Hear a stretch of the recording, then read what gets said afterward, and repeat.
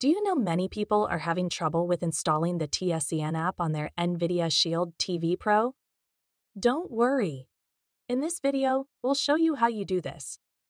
Let's start. Step 1. Turn on device. Turn on your NVIDIA Shield TV Pro and navigate to the home screen. Step 2. Open Play Store. Select the Google Play Store app from the home screen. Step 3. Search TSN. Use the search bar in the Google Play Store to type TSN and press Enter. Step 4. Select App. Find the TSN app in the search results and select it. Step 5. Install app. Click the Install button and wait for the app to download and install. Step 6. Open app. After the installation is complete, open the TSN app from your home screen or from the App section.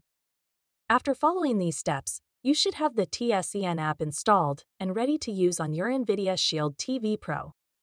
Still need help? Visit our website for the complete manual. There you will also find questions and answers from other NVIDIA users. Did you find this video helpful? By subscribing, you help us continue to answer users' questions. So, subscribe to our channel. Thanks for watching, and see you in the next video.